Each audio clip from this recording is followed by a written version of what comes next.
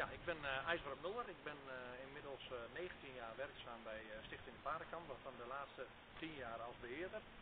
Wij als Stichting Paardenkamp vangen ongeveer rond de 120 bejaarde paarden en ponies op. Die nou, bieden we een welverdiende oude dag. En nou, ik vind het leuk om daaraan aan een bijdrage aan te leveren. Esther Mollers, landschapscoördinator bij de gemeente Soest. En ik heb samen met Stichting de Paardenkant plannen gemaakt en gezorgd dat het uitgevoerd kon worden. Uh, voor de houtwal, maar ook voor een poel die we aangelegd hebben en een bosje. En uh, nou, ik moet zeggen, we hebben heel, heel, heel prettig samengewerkt. Hier zie je de houtwal die we in deze winter aangelegd hebben. Je ziet een greppel, dan zie je een bolling, een en aan de andere kant weer een greppel. En op die bolling, de wal, staan eikenbomen, lindenbomen, uh, rozen, velboom. Nou ja, allerlei soorten die in Nederland thuis horen. Daar hebben we naar gekeken. En daarnaast hebben we ook goed gekeken dat er geen soorten staan die giftig zijn voor de paarden.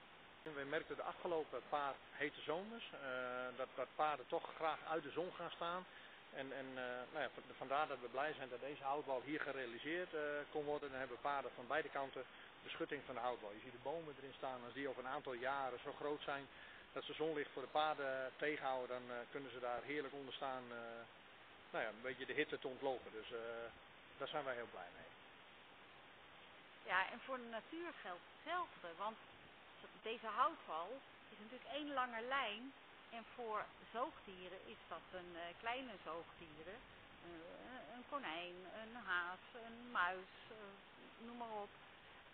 Kunt daar heerlijk langs trekken en voedsel zoeken. En hetzelfde geldt voor insecten en vlinders en bijen. En daar hebben we ook rekening mee gehouden met het uitkiezen van de soorten. We hebben echt gekeken, is er voor iedereen voldoende schaduw, eten, nectar. En uh, zo hebben we samen, uh, ja, zowel voor de paarden en de, en de natuur iets heel moois gedaan. Ja, ik kijk ernaar uit dat uh, het allemaal groot en volgroeid is.